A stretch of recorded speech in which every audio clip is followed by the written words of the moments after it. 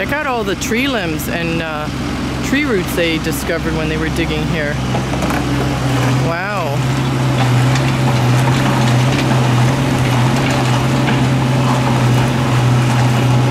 Conception's really good at using the machine there, excavator. I learned a new word. I used to call it digger because that's what my four little boys used to call it. There's a loader. I learned that word.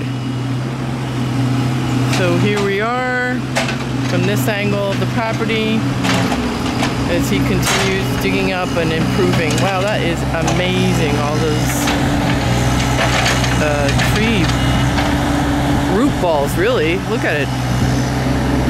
Wow, there's another one.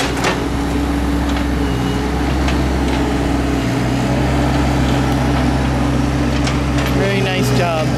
There's my nephew Patrick. He's awesome at doing all of this, and we're so grateful. So interesting. We have one of these. Um, I just drew a blank. What it's called? The thing that helps you know the right line.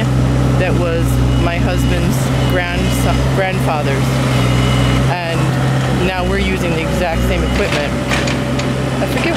He used it for the gas, he built the gas tanks in Carteret. Pretty amazing of family history.